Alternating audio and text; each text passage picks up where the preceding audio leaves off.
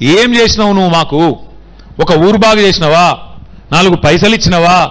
Pension చక్కగా ఇచ్చినవా? ఆడపిల్ల లగ్గానికి పైసలు ఇచ్చినవా?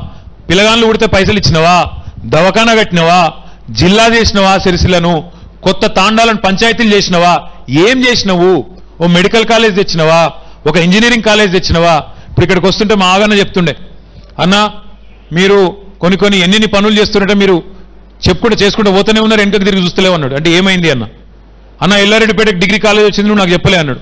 ఎప్పుడో వచ్చింది ఆర్డర్ వారం పది రోజుల కింద వచ్చింది అందులో ఏముందని నేను అన్నా అంటే అరే చెప్పొద్దా మనం పటాకులు కలిసి చెప్పుకోవాలి కదా అన్నాడు. ఎన్ని చెప్పాలి మరి ఇప్పుడు? సిరిసిల్లలో ఎన్ని పనులు చేసినామని చెప్పాలి. బయటకు వేరే దగ్గరికి పోతేనేమో వాడు తిట్టవట్టే నన్ను.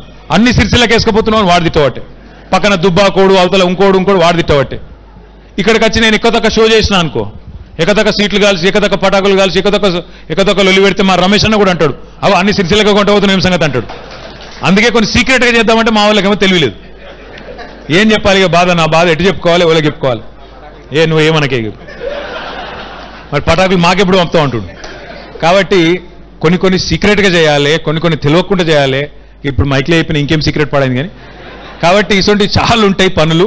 నేను మిమ్మల్ని చెప్పేది అందరినీ కూడా కోరుకునేది మనస్ఫూర్తిగా ప్రార్థించేది ఏంటంటే పనిచేసే ప్రభుత్వాలను పనిచేసే నాయకులను కాపాడుకోవడం వాళ్ళని మంచిగా పూలలో పెట్టి మళ్ళీ తిరిగి మాకు పని చేయి నువ్వు మంచిగా చేయి అని చెప్పాలి.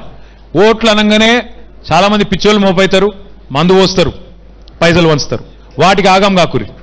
నేను నా జీవితంలో మందు పోయలే పైసలు వంచలే రేపు కూడా మందు పోయా పైసలు వంచ మీ దయ ఉంటే మళ్ళీ గెలుస్తా లేకపోతే ఇంట్లో కూర్చుంటా. అది కూడా చెప్తున్నా. మీ దయ ఉంటే గెలుస్తా. మీరు వద్దంటే ఇంట్లో కూర్చుంటా కానీ మందు వంచి పైసలు చేసే పైసలు వంచే రాయకేం చిల్లర రాయకేం నాతో కాదు. కాబట్టి మిమ్మల్ని నేను కోరేది ఒకటే. మిమ్మల్ని నేను కోరేది ఒకటే. నేను నాలుగు ఎలక్షన్లు కొట్లాడినా నాలుగు సార్లు గెలిపించారు. రేపు కూడా ఇదివరకు ఉన్నట్టే మంచిగా మీకు సేవ చేస్తా పని చేస్తా ముఖ్యంగా బీదా బిక్కిరి కడుపులో పెట్టుకొని కులం పిచ్చి లేకుండా మతం పిచ్చి లేకుండా ఎవలకు ఏది అవసరమో గా పని చేసే బాధ్యత నాది. ఒక తమ్ముడిగా ఒక అన్నగా మీకు అండగా నిలబడే బాధ్యత నాది. మీరందరూ కూడా దయచేసి నేను కోరేది ఈ కార్యక్రమం ముఖ్యంగా అందరికి చెప్పండి. ఆరు వందల మందితోనే ఆగిపోదు.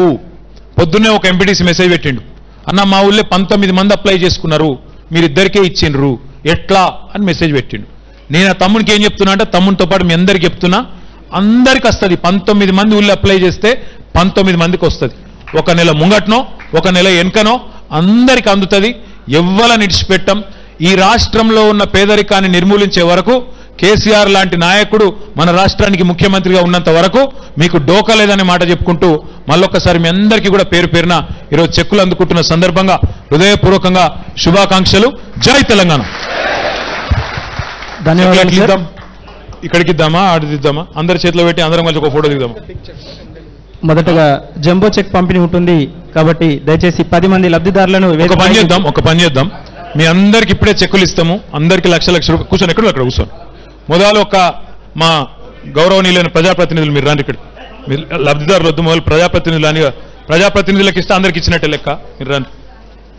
మీకు పెద్ద చెక్ ఇస్తా అటెన్గా మీరు పోయి లక్ష లక్ష రూపాయల చెక్ ఇక మీరు ఇవ్వాలి కౌంటర్స్ ఎన్ని ఉన్నాయి?